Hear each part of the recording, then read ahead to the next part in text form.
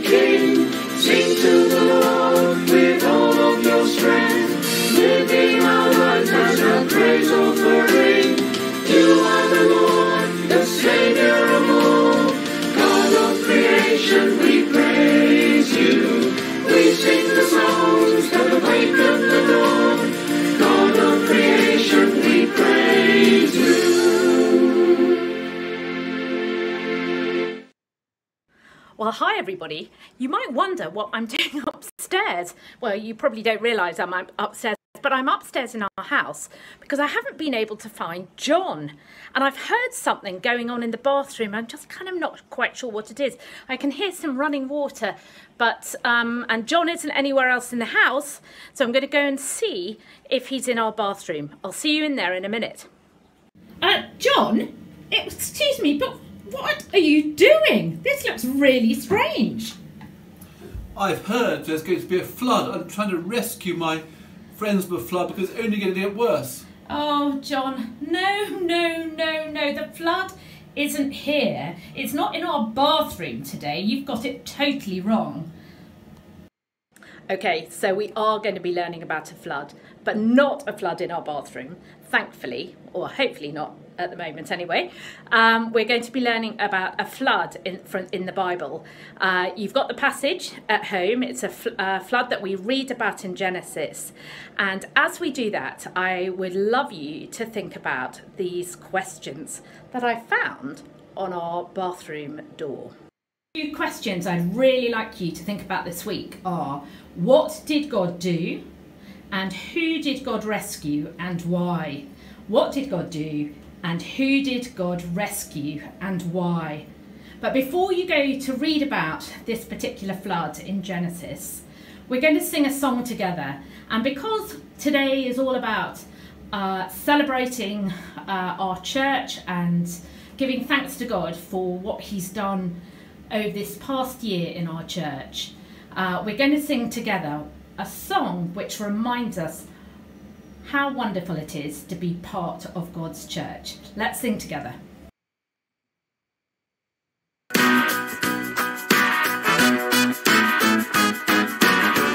Before the world began, God made a master plan to bring all things together under one head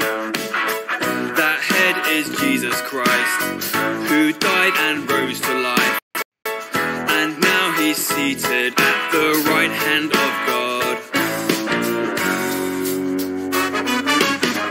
Once we were dead in sin, now we are raised with him. By grace we're saved through faith in Jesus alone. Part of his body now, united by his power joined with his people up all over the world.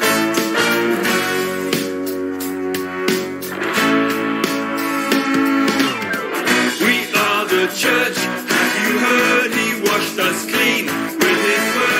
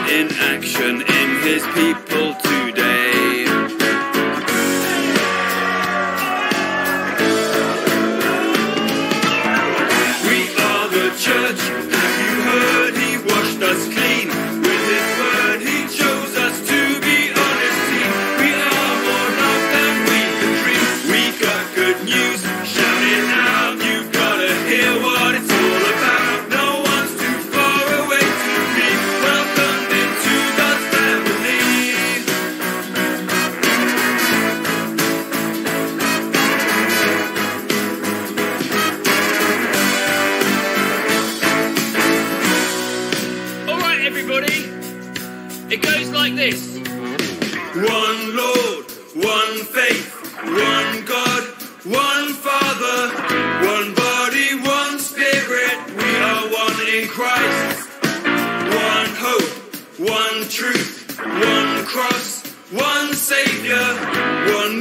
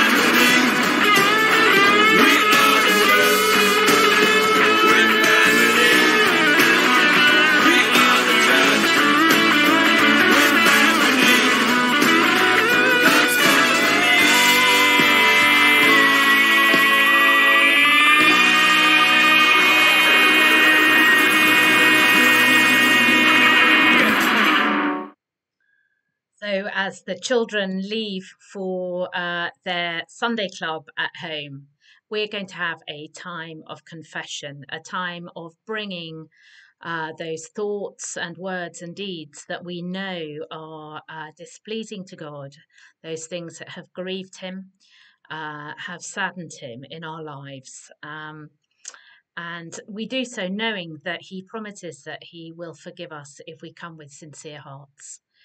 Um, and he promises to forgive us because of the Lord Jesus, because of his blood shed for us on the cross. 1 John 1 says, If we claim to be without sin, we deceive ourselves and the truth is not in us. If we confess our sins, he is faithful and just and will forgive our sins and purify us from all unrighteousness. So let's come before the Lord together in a time of confession. Lord God, have mercy on us according to your steadfast love, and in your abundant mercy, blot out our transgressions, cleanse us from our sin, create in us a clean heart and life, and continually renew a right spirit within us. Amen. How lovely is your dwelling place, O Lord Almighty! My soul yearns, even faints, for the courts of the Lord. My heart and my flesh cry out for the living God. Even the sparrow has found a home, and the swallow a nest for herself where she may leave have where she may have her young, a place near your altar. O Lord Almighty, my King and my God. Blessed are those who dwell in your house, they are ever praising you. Blessed are those whose strength is in you, who have set their hearts on pilgrimage. As they pass through the valley of Baca, they make it a place of springs. The autumn rains also cover it with pools, and they go from strength to strength till each appears before God in Zion. Hear my prayer, O Lord Almighty. Listen to me, O my God of Jacob. Look upon the shield of God. Look with favour on your anointed one. Better is one day in your courts than a thousand elsewhere. I would rather be a doorkeeper in the house of my God than dwell in the tents of the wicked. For the Lord God is a sun and shield. The Lord bestows favour and honour. So good things do, so no good things does he withhold from those whose walk is blameless. O Lord Almighty, blessed is the man who trusts you. Hear the Gospel of our Lord Jesus Christ according to John, chapter 6, verses 37 to 40. Glory to you, O Lord. All those the Father gives me will come to me, and whoever comes to me I will never drive away. For I have come down from heaven, not to do my own will, but to do the will of him who sent me. And this is the will of him who sent me, that I shall lose none of those he has given me, but raise them up at the last day. For my Father's will is that every one who looks to the Son and believes in him shall have eternal life, and I will raise them up at the last day. This is the gospel of the Lord. Thanks be to God. Before we come to look at God's word together, I want to say a couple of things about the last six months to the church family. First, enormous thank you to you all for what you've done to serve our community, our parish, our church in this particularly complex time. And thank you for those put numerous hours in of hard work.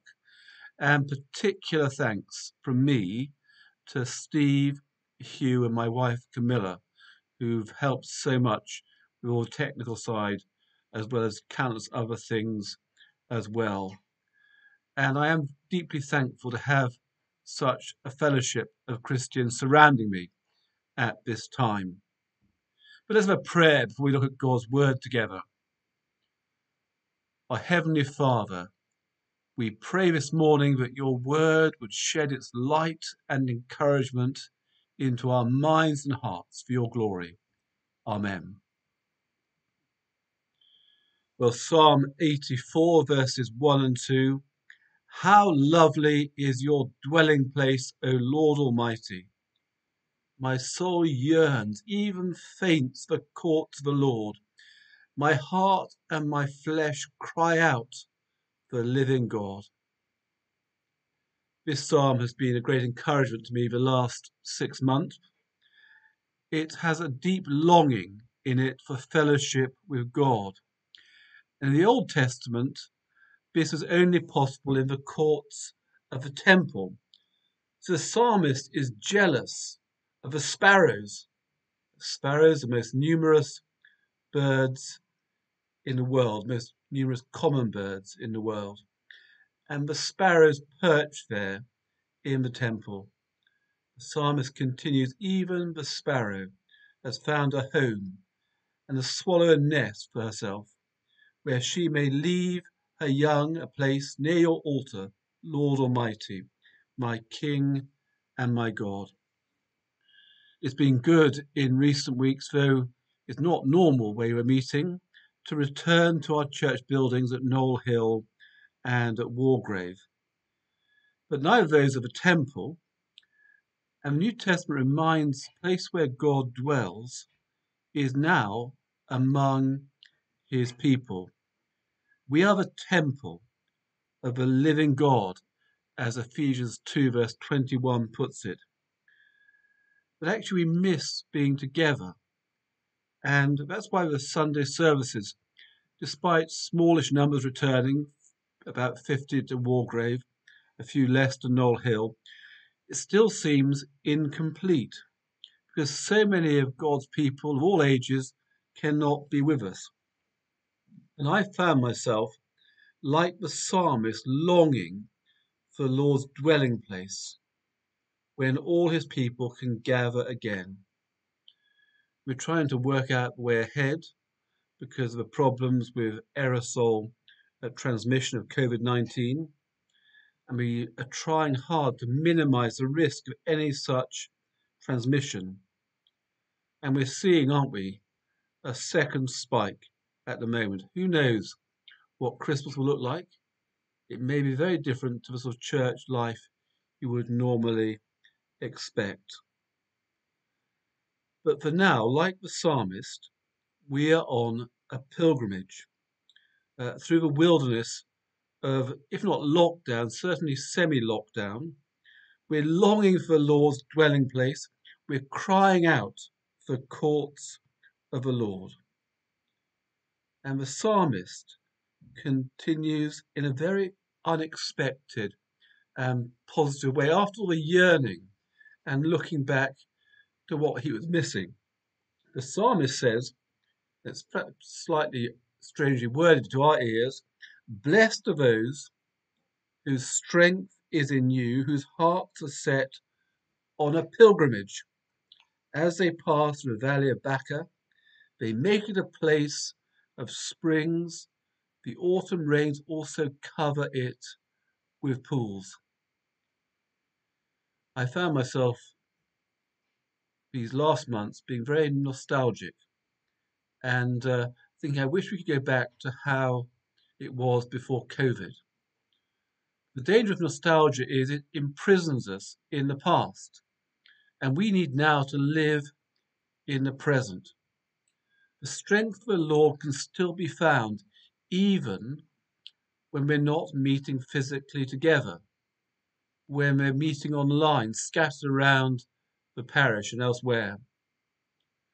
Yes, online services, our own Bible reading and prayers, as well as other resources, can make sure that we keep our spiritual strength in what is seemingly a desert place. And notice in this psalm that the desert is turned into a place of springs. We are bearers of spiritual refreshment and renewal to all those around us. We weary pilgrims are longing for home, not just home church, but for the fellowship and the life and vitality we know together. And yet we can still have that in the present. We can make the wilderness blossom. And even now, in different places, as opportunities given to each one of us, we can make sure that in the present, God's blessing blossoms in different ways.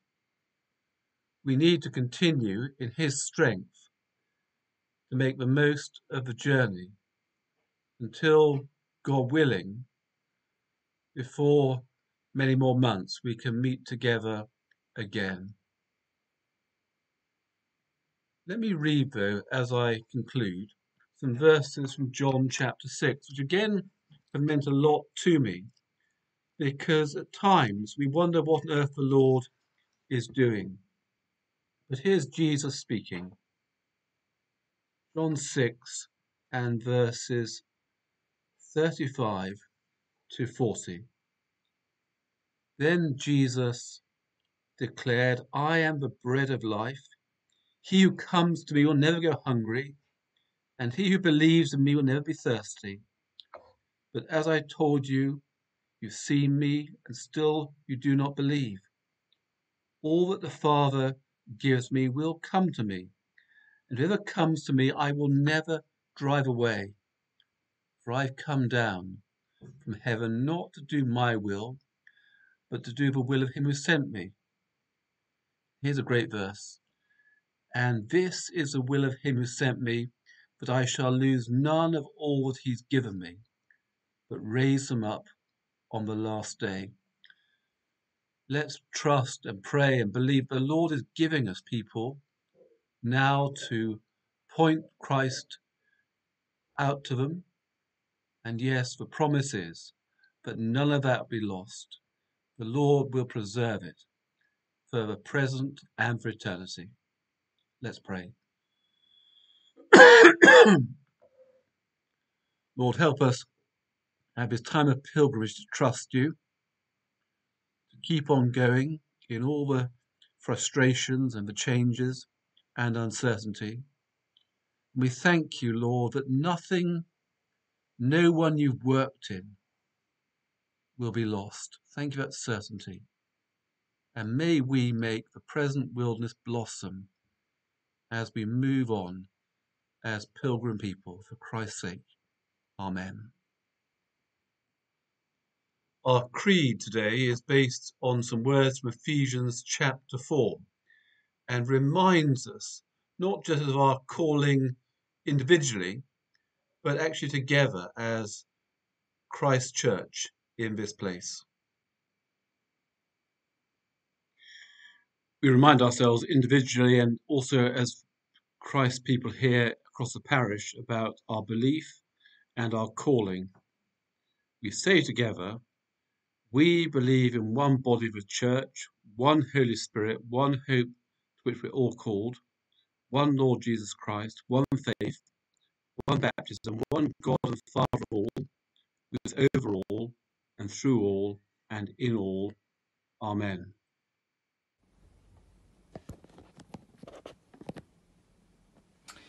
In our prayers today, we give thanks for the positive discussions held at our APCM this morning. For all those who contributed, for all those who'd listened, and for all those who'd organised this meeting. We pray for the wider church throughout the world. We pray for our Archbishop Justin, for our Bishop Steven and Olivia, and for John, and for Hugh, and for Steve.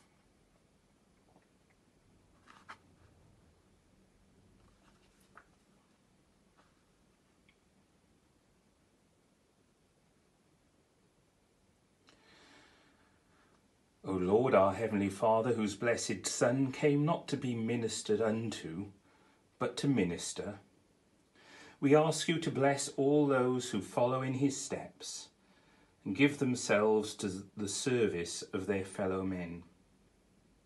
Endue them with wisdom, patience, and courage to strengthen the weak and to raise up those who fall, that being inspired by your love, they may worthily minister in your name to the suffering, the friendless, and the needy, for the sake of him who laid down his life for us, the same Jesus Christ, our Saviour.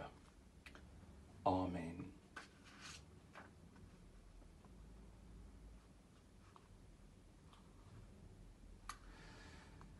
God our Father, you sent your Son to us. Grant that filled with your Spirit, we may be renewed in faith and inspired in hope and love to spread the gospel of your kingdom to all humankind through Christ our Lord. Amen. And in this season of creation tide, we thank you, Lord, for all of the blessings that we have in this life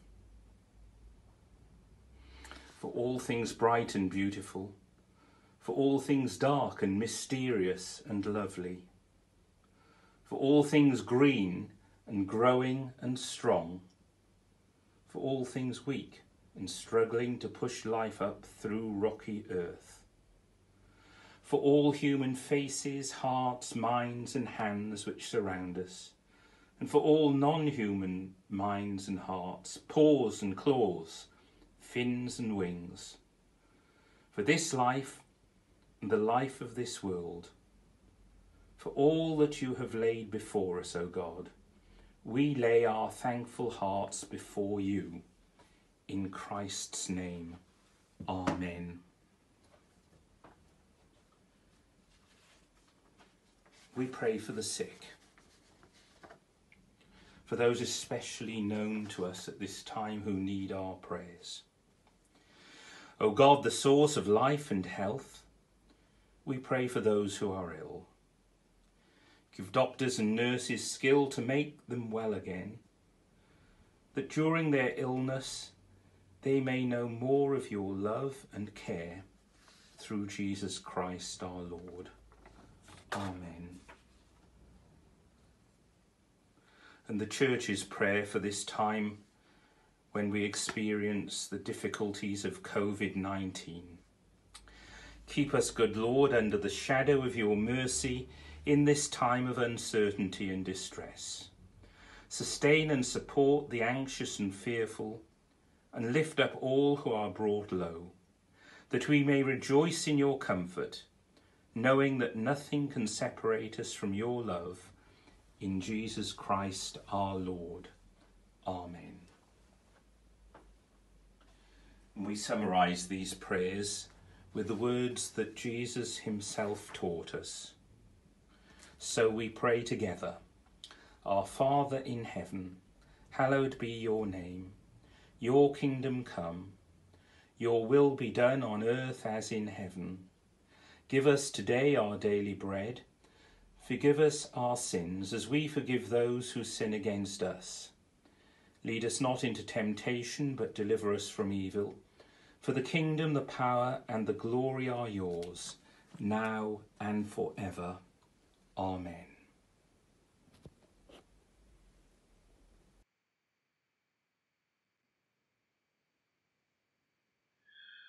We come now with bread and wine to recall our Saviour's death in our place to rescue us from hell for heaven.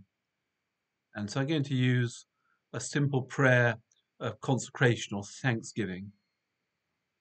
Almighty God, our Heavenly Father, who in your tender mercy gave your only Son, our Saviour Jesus Christ, to suffer death upon the cross for our redemption, and who made there a full, perfect, and sufficient sacrifice, oblation, and satisfaction for sins of the whole world. He instituted and in his holy gospel command us continue a perpetual memory of that his precious death until he comes again. Hear us, merciful Father, we humbly pray, and grant that we, receiving these gifts of your creation, this bread and this wine, according to your Son, our Saviour, Jesus Christ, holy institution, in remembrance of his death and passion, may be partakers of his most blessed body and blood who in the same night that he was betrayed took bread and gave you thanks. He broke it and gave it to disciples, saying, Take, eat.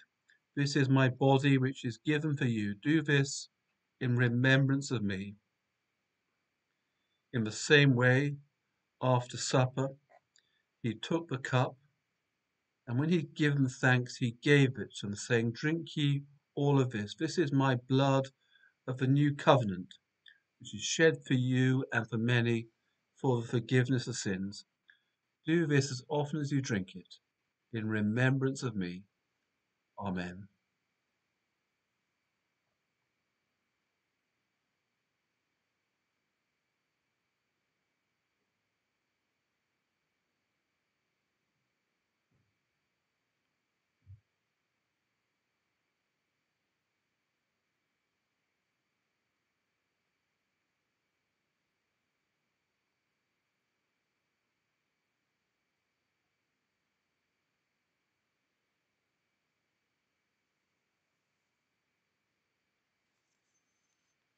Having received these precious reminders of our Lord's love. So we join together now in the Lord's Prayer, asking that the Lord's priorities would be ours in all of our living.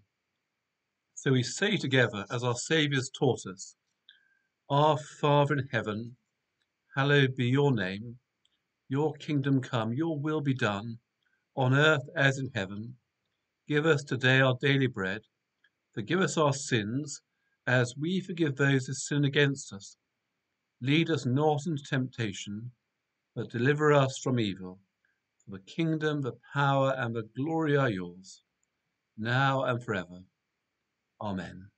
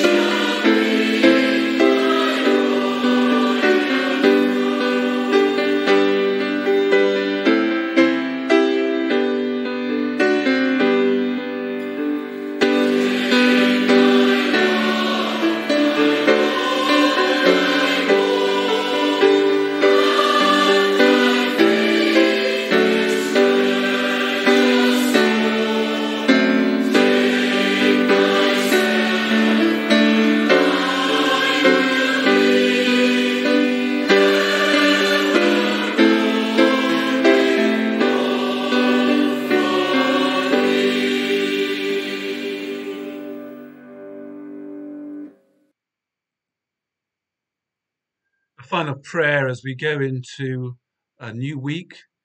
So try and make the most of every opportunity. And so let me lead us in a prayer of blessing.